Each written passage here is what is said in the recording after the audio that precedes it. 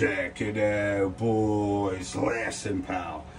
Making a piece of custom metal here, bud. Now, this is going to be some built-in window trim with a built-in drip edge for a window detail that we're doing here. Full custom job, boys. Three bends. One, two, and three. You got to do this bend first. Otherwise, you won't be able to get back to do this one, boys.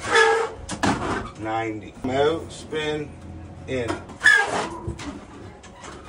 Spin it. I want to close that up a little bit more. So I'll drop it in.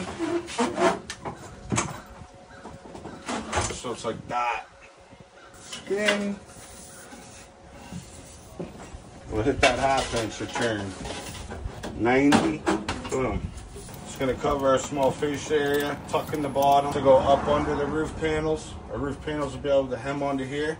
Beautiful. Cleaner than the interior of your aunt's car, pal. Carry on.